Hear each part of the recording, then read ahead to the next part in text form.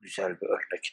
Devam edecek olursak arkadaşlar, örneğin e, Mustafa Supi'yi öldüren kayıkçılar kahyası e, denilen e, işte o kahya çünkü kayık, kayık, kayık işi, kayıkçılık esnaflığı e, Trabzon gibi bir liman kentinde hayli önemli bir iş, hayli siyasi de bir iş ve onun kahyası da böyle bir şey, serkeş bir adam falan filan ama yani e, Sonuçta bu infaz işini o şey yapıyor. Aradan belli bir zaman geçtikten sonra Ali Şükrü Bey bölgenin insanı ve Ankara içerisindeki güç mücadelelerinde de unsurlardan birisi. Meclis içerisindeki ikinci grup Mustafa Kemal muhalifleri arasında en söz geçeni, en hitabet yeteneği güçlü olanı, en çok konuşanı, en etkili konuşanı, şunu bunu.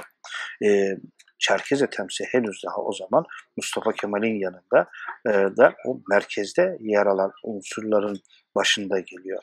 Ve bir gün gelir ki Çerkez Ethem de Karadeniz'de biliyorsunuz ki e, işte Ali Şükrü de Karadeniz'de ve her ikisi de bu Mustafa Supi olayının nasıl önce çağrılıp Mustafa Supi'nin Karadeniz bölgesine geldiğini, Karadeniz'deki kimi ziyaretleri esnasında nasıl ve ne şekilde halkın organize edilip Mustafa Supi'nin üstüne salındığını, sonra gitmeye karar verdiği sırada nasıl katledildiğini, karısının alakonulduğunu,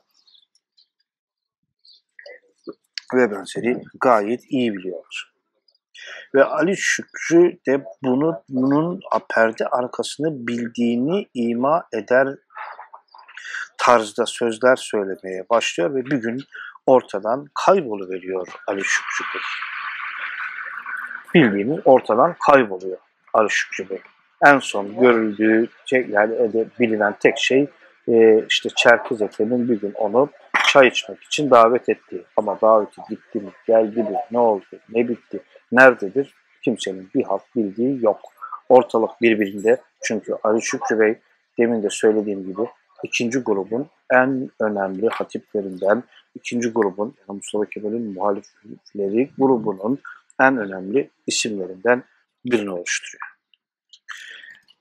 E şimdi e, bu isim e, ortadan kayboluyor, aranıyor, bulunuyor ki papazın bağında e, pardon Çerkez Ethem diyorum Topal Osman olacaktı. Çerkez Ethem değil Topal Osman e, Mustafa Kemal'in yanında ve Topal Osman Karadenizli. Topal Osman e, onu çay içmeye davet ediyor. Benim hatam özür diliyorum düzeltiyorum. Çerkez Ethem değil Topal Osman olması gerekiyordu.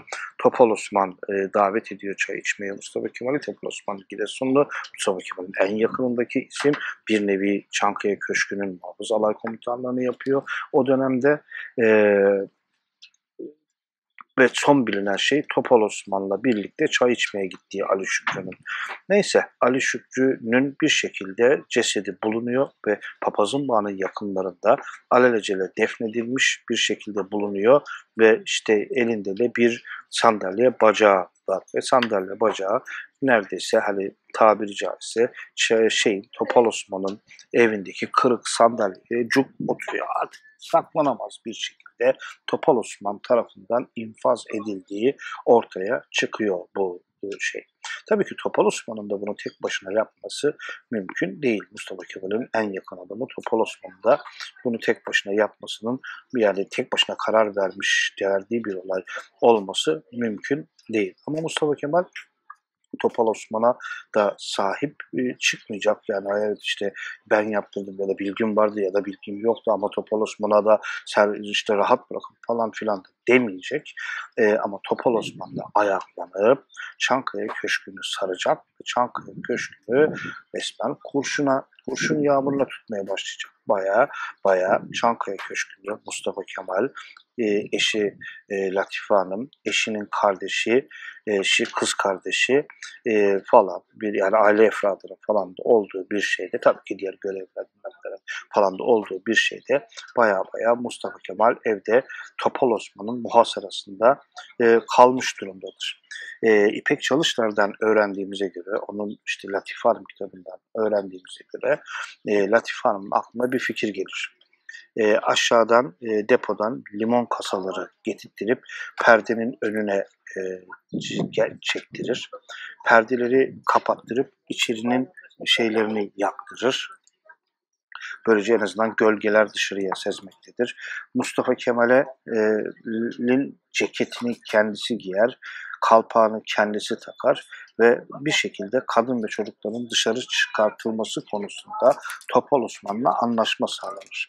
Ve Mustafa Kemal'e de o anda evinde duran kardeşinin feracesini giydirerek kadın kollarında Mustafa Kemal'i de dışarı çıkartır. Ama bundan evdeki Çankaya Köşkü'ndekilerin dahi haberi yoktur. Artık perdeler çekilmiş, içerinin ışıkları yanmış, gölgeler görünüyor ama görünen gölgelerdeki kalpaklı Mustafa Kemal'in gölgesine benzeyen erkek görünümlü şey, gölge aslında Latife Hanım'ın gölgesi ve özellikle Mustafa Kemal oradaymış gibi bir izlenim bıraktırılmaya çalışılıyor. Hatta boyları bile aynı olsun da kimse onun kadın olduğundan şüphelenmesin diye aşağıdan limon portakal kasaları getirtilip şeyin önüne konulmuş ki camın önüne gölge camın önünde volta attıkça herkes ama herkes hatta Çankaya Köşkü'ndekiler dahi içeride Mustafa Kemal'in o e, hala olduğunu inansın diye. Hatta o kadar ki Latif Hanım e, oldukça iyi yazı yazabilen birisi. Mustafa Kemal'in yazısını da taklit edebilecek düzeyde e, yazısına hakim birisi.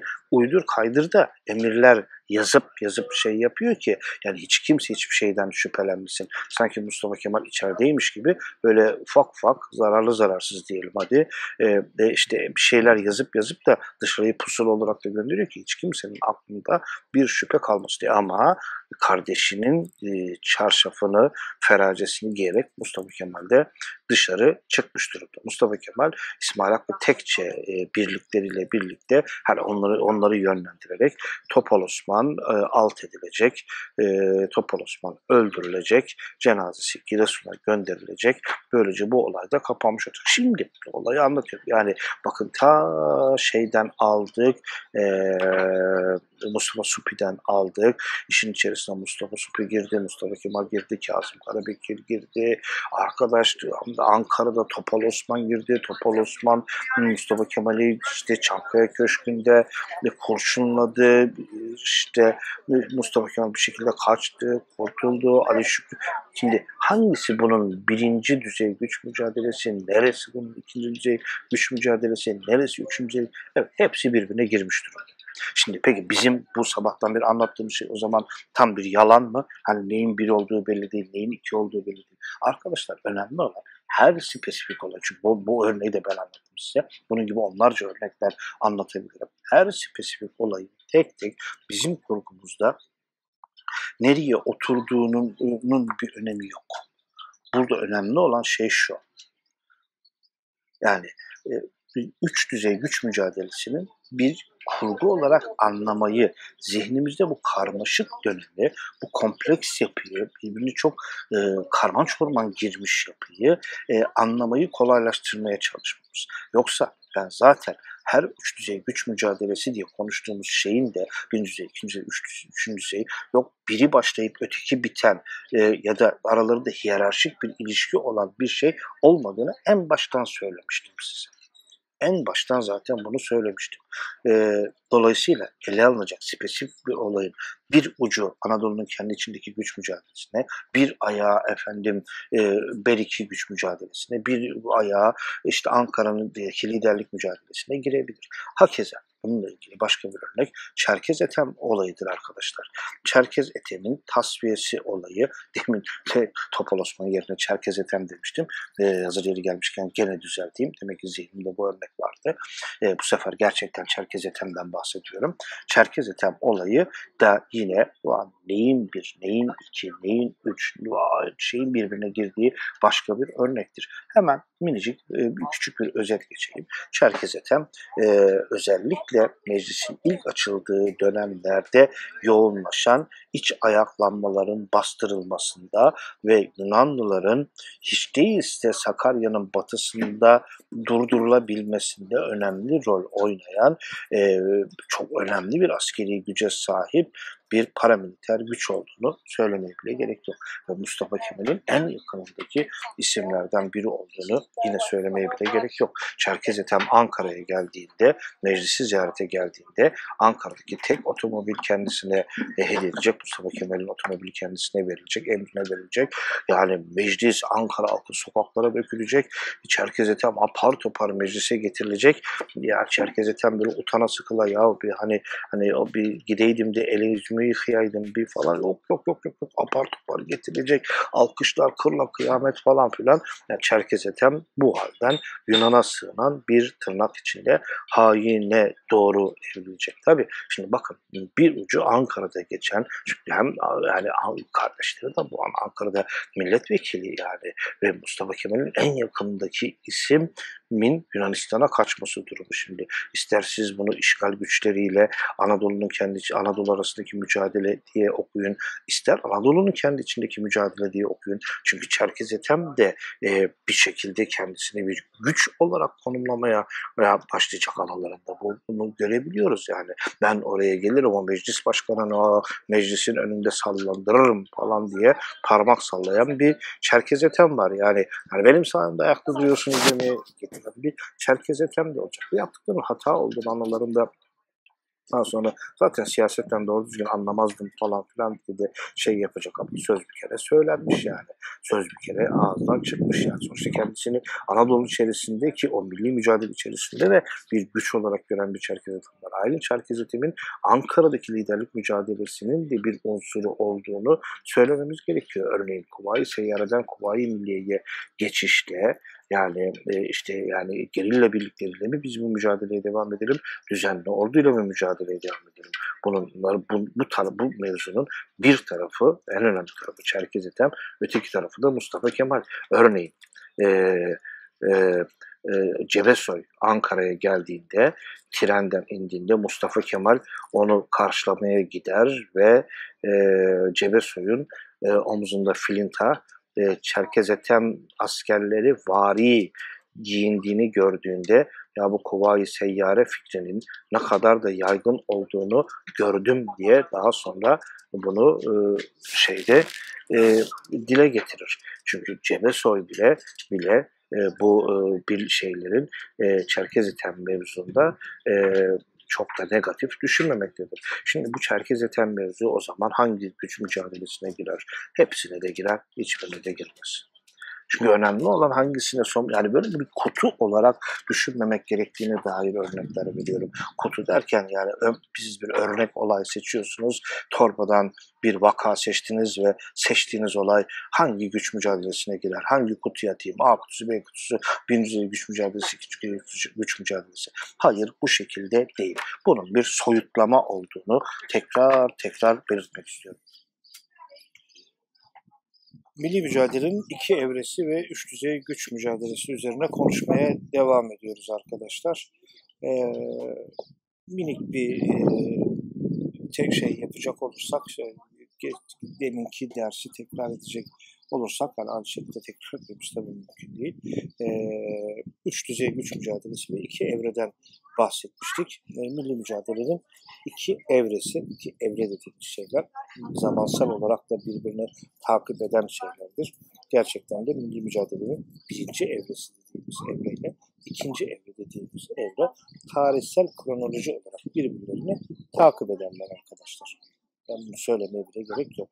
E, 23 Nisan 1920 tarihi aslında burada bir kerteyi oluşturur. Yani bir milli mücadelenin örgütsüz evresinden, çoban ateşlerine benzeyen evresinden merkezi evreye geçişinde bir kerteyi oluşturur. Kerteden kasıt ne? Yani niye direkt tarihtir deyip geçmiyoruz. Çünkü 24 Nisan'a gelindiğinde her şey güllük gülistanlık olmuş, e, efendim merkezi bir evreye geçirmiş, merkez kaç güçler diyelim tamamen devreden çıkmış, Ankara'nın kendi otoritesi baştan sona kabul edilmiş falan filan değil.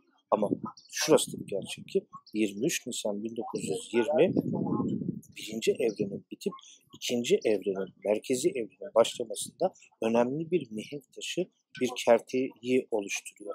Şimdi kongreler evresinden merkezi evreye doğru giderken siyasi Ankara'dan coğrafi Ankara'ya doğru dönüşüşünü özetlemeyi unuttuk. Hazır tekrar gidiyorken de bu noktaya da bir e, göz atalım arkadaşlar.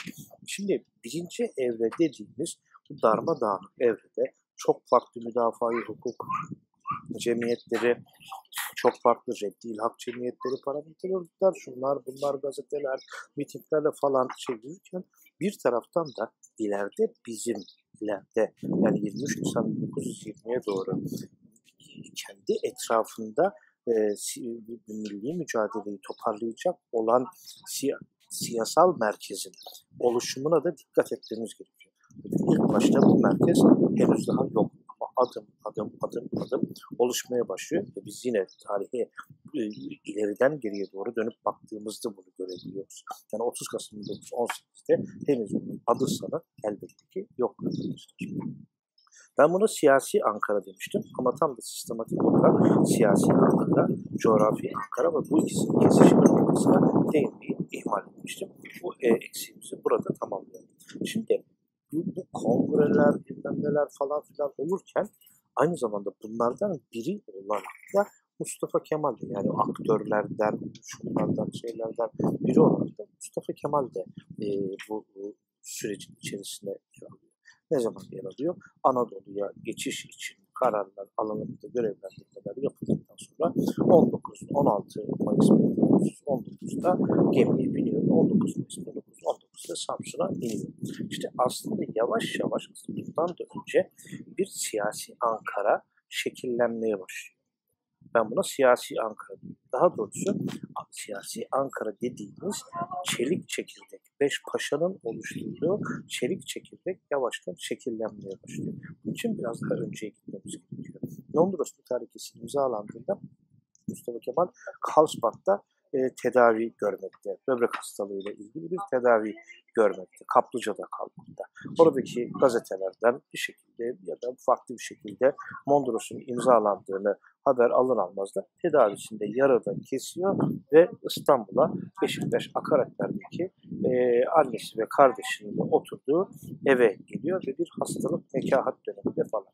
Kazım Karabekir e, işte e, vekil görevine tayin edilmiş ve hem de arkadaşını Mustafa Kemal'e bir e, hasta ziyareti hem de gider ayak herhalde diyelim ki bir işte veda ziyareti, işte Allah ısmarladık ziyareti şeklinde onu Akaratlar'daki evinde ziyaret ediyor. Olay tamamen bir e, işte hasta ziyareti, arkadaş ziyareti tadında gerçekleşiyor. Mustafa Kemal, Kazım Karabekir, Mustafa Kemal'i e, ilk fırsatta doğuya davet edecektir. Belki de muhtemelen e, İstiklal Harbimiz kitabında neredeyse her sayfasında diyelim tekrar ettiği gibi son taş kaya parçası kalana kadar mücadele etmek için Kazım Karabekir'in çok sevdiği laflardan birisi mücadele etmek için onu şeye davet eder. Mustafa Kemal hayır da demez, evet de demez. E, tabii ki inşallah tadında falan hani burası bir tiyatro yapmış olalım yani tam birebir ne dediğinin hiçbir yerde şey yok sonuçta.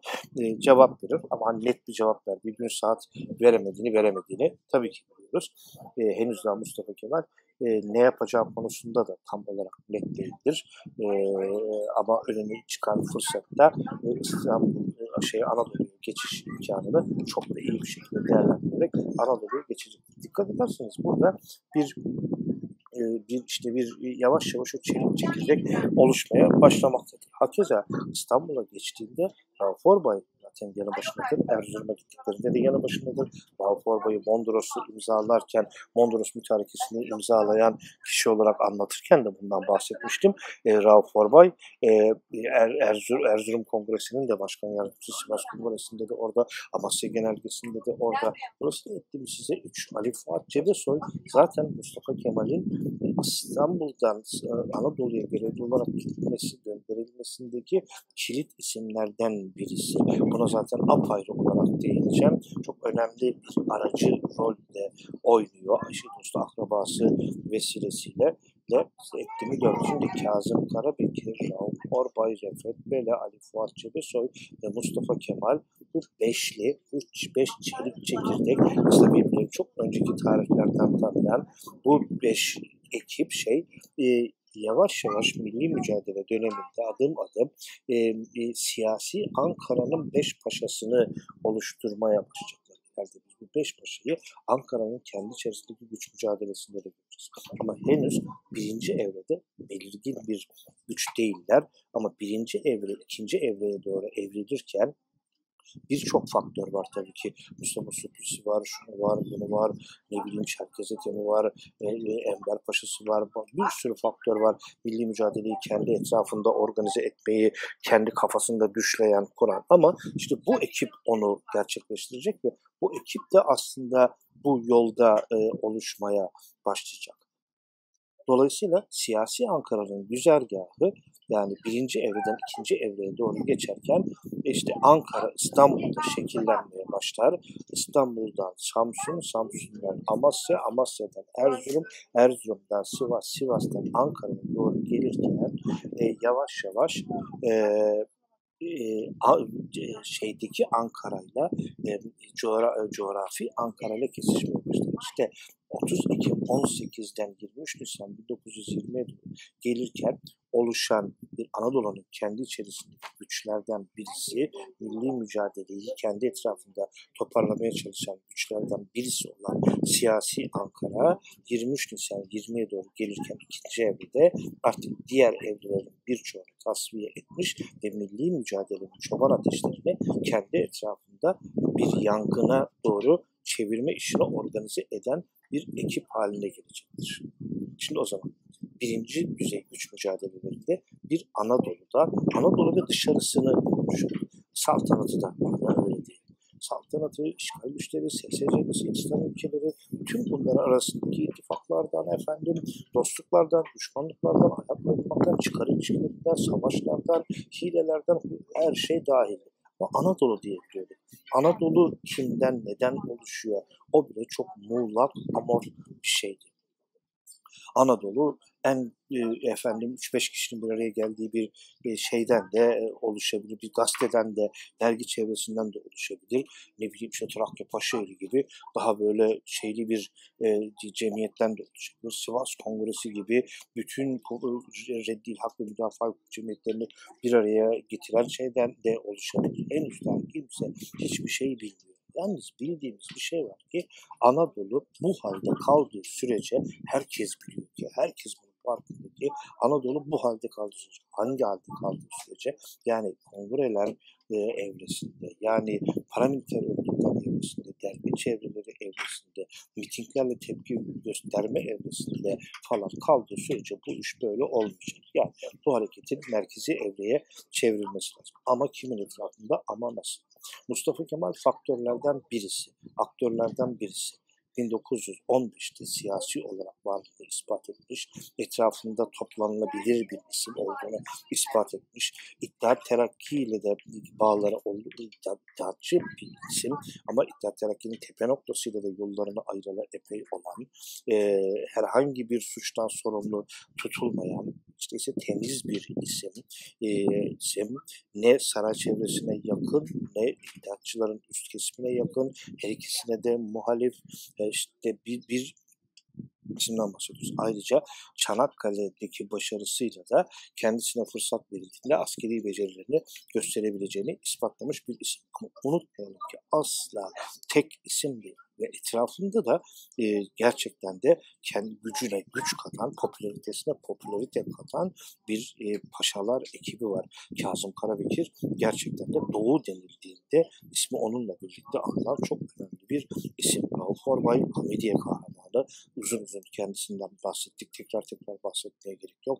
E, işte Harbiye Bahriye Nazırlığından efendim işte son dönem e, efendim kruvizör korsanlığına kadar yapmadığı iş olmayan çok önemli bir isimden bahsediyoruz. Ali Fuat ve babadan, dededen asker bütün askeri çevrelerde kendi isminden önce babasının, büyüklerinin, abisinin, Mehmet Bey'in falan isminin, her şeyinin bilindiği önemli bir isimden bahsediyoruz ki o da parlak komutanlar içerisinde bunun yanında Refet Belen'in ismini de saymamız gerekiyor. Mustafa Kemal'in ismini saymamız gerekiyor. İşte Ankara'nın merkezini oluşturdu. Siyasi Ankara'nın çelik çekirdeği dediğimiz beş paşanın bir şekilde hikayesini ana hatlarıyla böyle özetlemiş oluyoruz. İşte bu, bu bunlar kendi etraflarında milli mücadeleyi toparlayacaklar ve Anadolu'nun kendi içerisindeki güç mücadelesinde yani milli mücadelenin lider ekibi kim olacak? Ankara.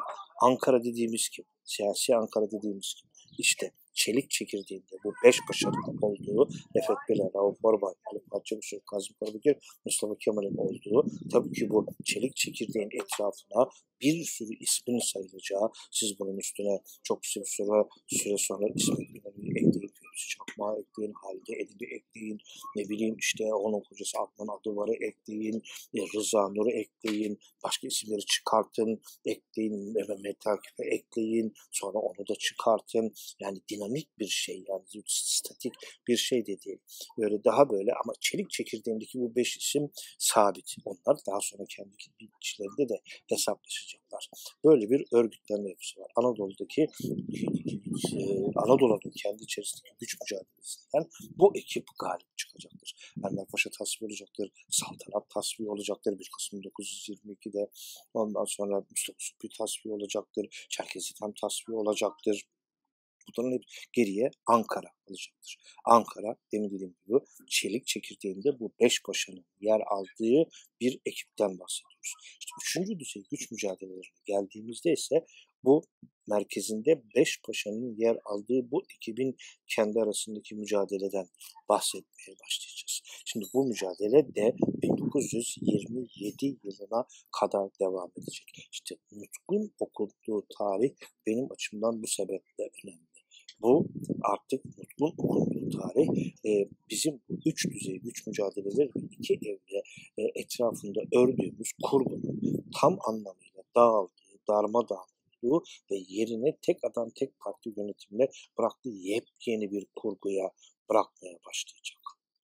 30 Ekim 1918'de başlayan yani bu bizim bu kurgumuz 20 Ekim 1920'de ama yine söylüyorum yine söylüyorum her zaman söylediğim gibi buradaki tarihleri her zaman için birer kerte olarak almakta fayda var. Yani 19 Ekim 1927'de tek adam yönetimi yok 21 Ekim 1927'de var gibi düşünmemek gerekiyor. Bunları bunlar bir tarih e, olarak zikredilmek ihtiyacı duyulduğu için zikredilen şeyler. Yoksa yani mutlaka ki önü arkası olan çok mutlak yani kronolojik ya tarih bir şey yani kronolojinin koyduğu tarihler değil yani 20 Ekim 00'dan itibaren 21 Ekim'e geçildiğinden itibaren tek adam yönetimi başlar. Saçma sapan bir şey olur. Ben yine de hani bir kere daha bunu zikretmiş olayım. Yani buradaki biz 23 Nisan 1920 gibi somut bir olayı bile yani direkt birinci evreden ikinci evreye geçin tek ve net tarihidir demedik diyemiyoruz.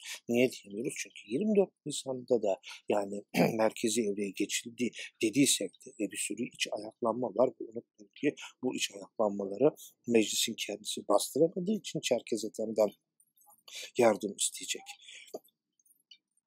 Oluşan Ankara, oluşan siyasi Ankara, Mustafa Supi kendisi tasfiye edemediği için Topal Osman'dan kayıkçılar kahyasından yardım isteyecek mi diye Topal Osman gidecek. Ondan sonra Ali Şükrü Topal Osman'ın e, bu işi organize ettiğinden haber olunca Topal Osman onu tasfiye edecek. Daha sonra Topal Osman tasfiye edilecek. İşte daha önceki derste konuştuğumuz olaylar yani dinamik bir şey olduğunu unutmamız gerekiyor. Ankara'nın kendi içerisindeki güç mücadelesi de öyle. Diğer üç güç mücadelesi bitmiş tamamen ortadan kalkmış değil ama tabii ki bu hepsi aynı ölçüde anlamına falan gelmiyor. Ama birbirini besleyen, birbirini e, destekleyen, köstekleyen olduğunu gene onlarca kere söylemiştim. Ankara'daki güç mücadelesi temelde Ankara'nın, siyasi Ankara, artık coğrafya Ankara'da kesişmiş.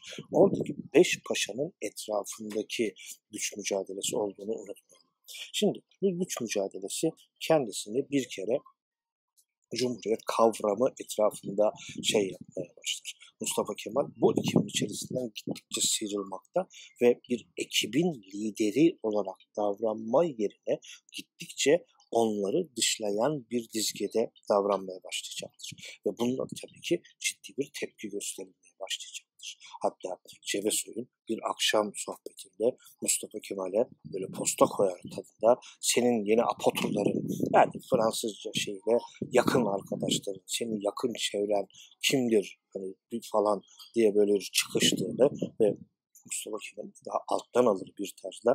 Benim yakın apoturlarım işte bu ülke için kim çalışıyorsa onlardır e, falan deyip böyle daha orta yol bir cevapla geçiştirdiği yani Mustafa Kemal'in çevresinin de değişmeye başladığı ve eski yol arkadaşlarını da da, da böyle yani eşitler arasında birinci rolünü de kabul etmeyip onlarla da bir hesaplaşmaya girdiğini görülür ve e, onlar da buna tepki gösterilir. Cumhuriyetin ilanı mevzuu e, burada e, önemli bir e, şeydir, ayraçtır. Cumhuriyetin ilanı şeyini şimdi biraz sonraya bırakarak şey yapmak istiyorum, tartışmak istiyorum ama bilelim ki bu kavga cumhuriyet kavramı etrafında şey yapılır. Benim sonraya bırakmak istediğim ise şu cumhuriyet mefhumuyla ilgili tartışmalar falan filandır. Yanlış anlaşılmayı önlemek için yani cumhuriyet kavramını sadece Ankara'nın kendi içerisindeki bir mücadelede bu kavram ortaya çıkmıştır gibi akılda kalmasın diye onu ileriki bir tartışmaya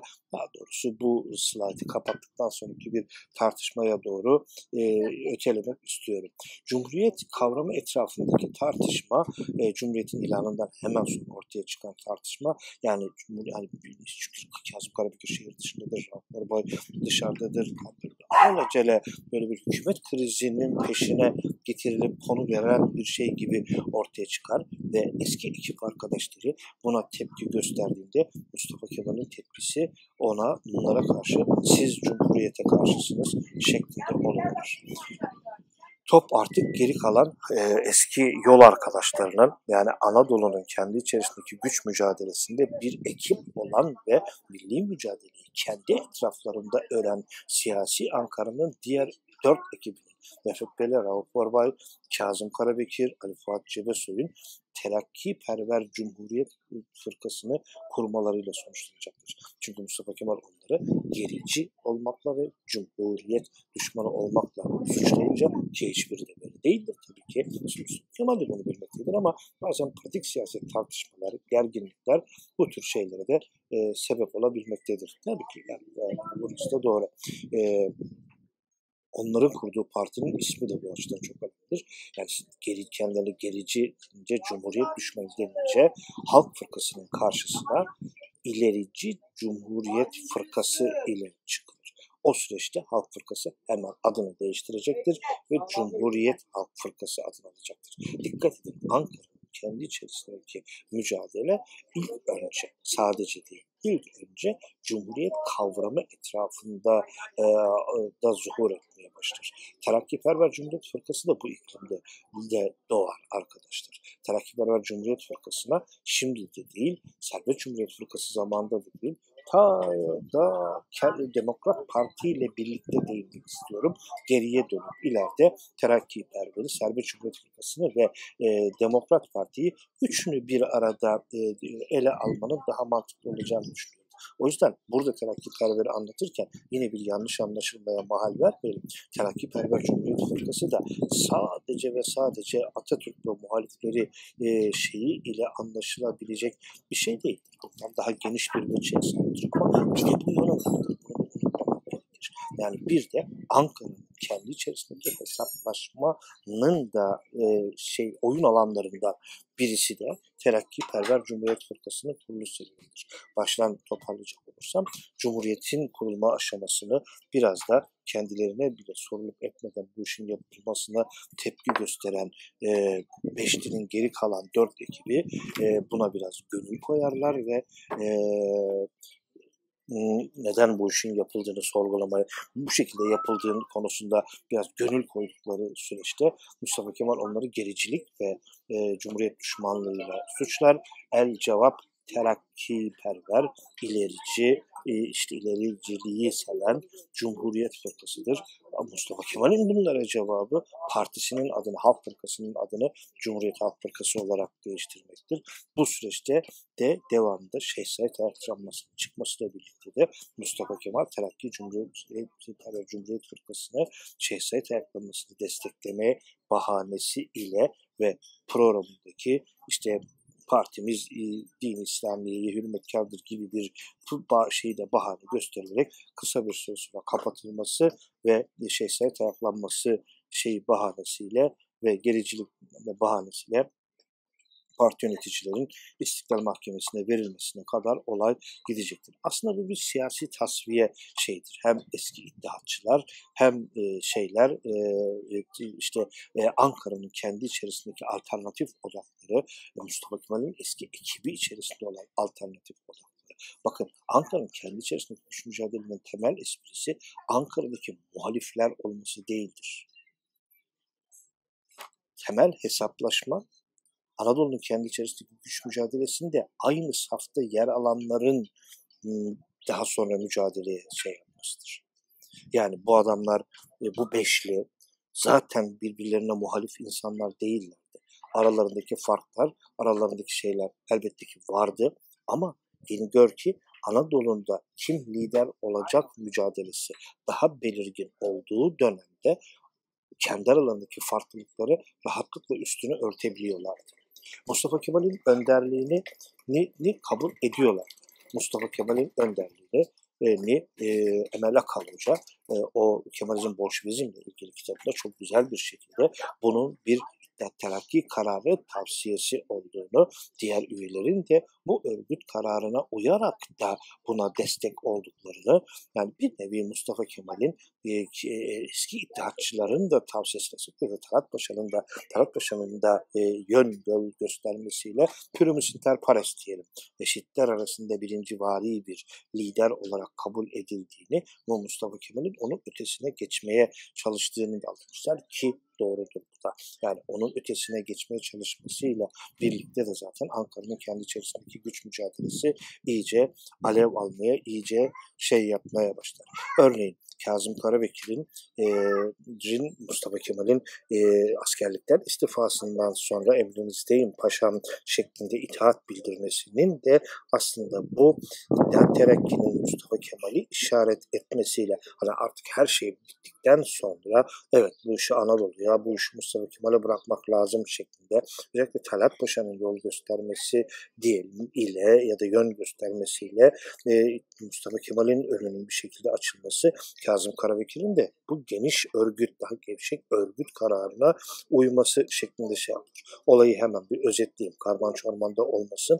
Ee, Erzurum Kongresi'ne gelindiği evrede, Erzurum Kongresi'nin hemen öncesinde e, artık İstanbul'un sürekli tacizi devam etmektedir. Çünkü Ankara'ya gider Mustafa Kemal e, pek de kendisinden beklenen görevi yapmak yerine e, ciddi bir şekilde bir örgütlenme çabasına girmeye başlamıştır. E, İstanbul e, İngilizler de yaptıkları hatanın farkındadırlar ve hemen e, padişahı ve çevresini Mustafa Kemal'i geri çağırması için uyarmaya başlarlar. Uyarılar, uyarılar, uyarılar, uyarılar, uyarılar ama Mustafa Kemal pek oralı olmaz, olmaz, olmaz ama 7-8 Temmuz gecesi tam da Erzurum'dayken e, askerlikten ve görevinden istifa ettiğini belirten bir dilekçe, e, bir bir telgraf çeker dilekçe diyorum. E, ve e, aslında bir şekilde e, Kazım Karabekir'in gözetiminde diyelim İstanbul'a gönderilmesi lazımken Kazım Karabekir istifa etmiş, askerlikten istifa etmiş arkadaşına. Sanki istifa etmemiş gibi gelir bir asker selamı vererek emrinizdeyim paşam der. İşte bu basitçe Karabekir'in e, Mustafa Kemal'e biatı şeklinde değil de bir aslında geniş örgüt kararının bir tezahürü olarak ele alınmalı der Emel Akalıca. Tabii ki doğru olduğu noktalar oldukça e, fazladır da ama işte yollar e, yollar yavaş yavaş e, ayrılmaya başladıkça eski defterlerde ayrılmaya başlar. Hakeza Rauf Orbay da yani e, Sivas Amasya tahmin imzaladığında onun yanındadır, Sivas'ta yanındadır, Erzurum'da yanındadır ama onun da yolları şeyleri ayrılacaktır. Aslında yazır yeri gelmişken şeyi de söyleyeyim siyasi Ankara'nın doğum belgesi Amasya Tamimi'dir. Amasya Tamimi'dir. O Amasya Tamimi'ndeki o imzalar da Beş Paşa'ya aittir. Ha illa fiziki imza olması gerekiyor. Fiziki imzanın sayısı daha fazladır. Mesela Mersin'in Cemal Paşa da Amasya Tamirinin imzası var diye hatırlıyorum. Ama Kazım Karabekir'in fiziki imzası da yoktur. Ama telgrafla onun, onunla bilgi verilir ve onun da görüşü şeyi alınır. Dolayısıyla onun imzasının olduğunu da, da hesaba katmak gerekir. Aslında bir nevi sadece bu beş başa imza atmasa da bu Amasya tamimiyle şekillenmeye başlayan e, bu ilişki ağı artık e, şeye doğru Cumhuriyet'in kuruluş aşamasına doğru kuruluşuyla birlikte iyice su yüzüne çıkan bir parçalanma ayrılmayla Terakkiler ve Cumhuriyet Fırkası ile birlikte 1927'ye kadar sürecek bir iç hesaplaşmaya doğru gider. Artık zaten Terakkiperver'in kapatılmasından sonra artık e, ciddi tasfiyeler başlar. E, Kazım Karabekir olsun, Refet Belesi, Rauf Ordoy olsun bunlar ya yurt dışına giderler ya Kazım Karabekir örneğinde olduğu gibi artık bir müzevi hayat yaşamaya başlar. Kendi İstanbul'daki evinde siyasetten tamamen dışlanırlar ta ki Atatürk ölene kadar falan. İşte 1927 yılında Nutk'un okunduğu tarih e, aslında bu açıdan önemlidir. Ama burada bir yanlış anlamayı önlemek gerekiyor. Nutuk okunduğu için e, efendim işte bu milli mücadelenin iki evresi, üç düzeyi, güç mücadeleleri falan sona ermez arkadaşlar. Aslında nutuk burada bir işaret bir şeydir. Yine diğerlerinde olduğu gibi bir işaret bir şeydir. Artık yani hem işgallerin bittiği hem işte Lozan var arada. Lozan'la birlikte rejimin doğum belgesinin imzalandığı ki ona değinmedik ona da değinelim.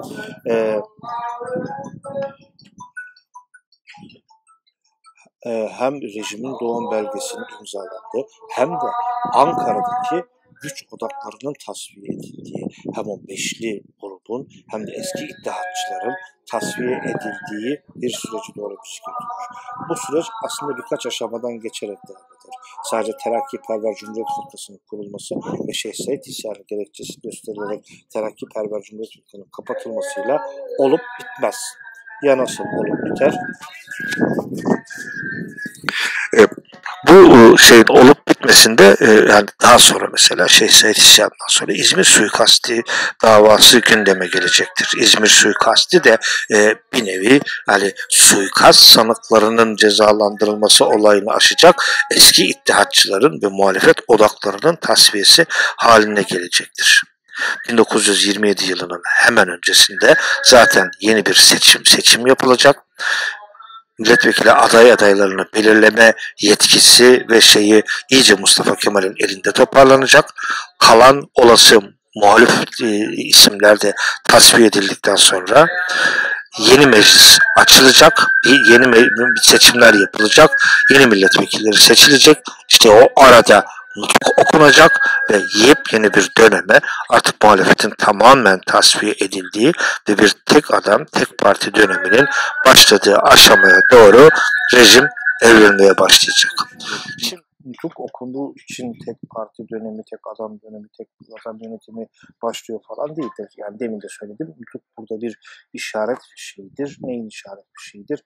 Artık e, Ankara içerisindeki güç mücadelesinin de e, tasfiye edildiği, muhaliflerin tasfiye edildiği ve artık yani bizim e, deminden beri bu işte üç ders boyunca aşağı yukarı tartıştığımız Anadolu'nun işte birinci düzey güç mücadeleleri, ikinci düzey güç mücadeleleri, üçüncü düzey güç mücadeleleri, e, birinci ve ikinci evre kurgusunun tamamen tamamen e, dağıldığı ve yepyeni bir kurguya doğru geçeceğimiz e, bir e, sürecin işaret bir şeyini işaret kadar e, tekrar söylüyorum.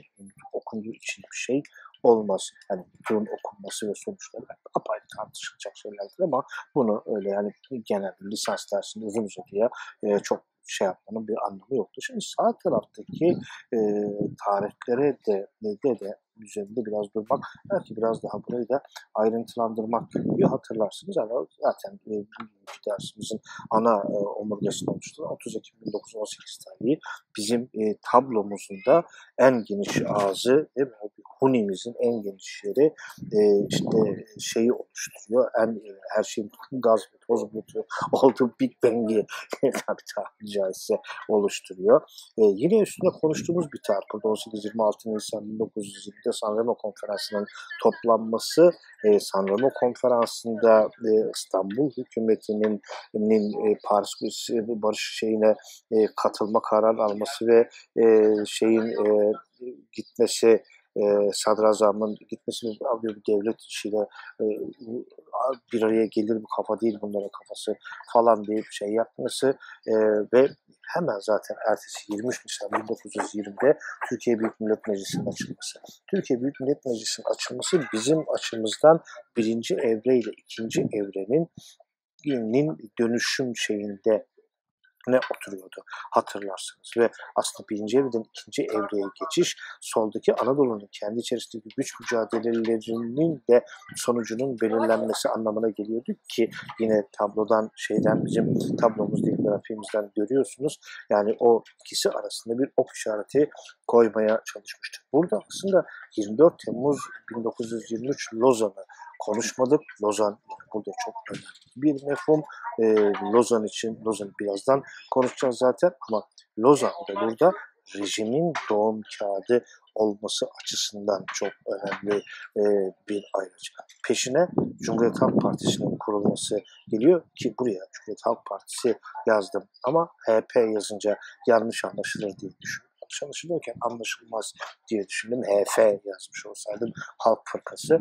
E, aslında parti kurulduğu tarihte Cumhuriyet Halk Partisi adına sahip değil, Halk Fırkası adına sahip. Demin de söyledim. Terakki Perver Cumhuriyet Fırkanın kurulbaşı aşamasında o süreçte Cumhuriyet Halk Fırkası olacak.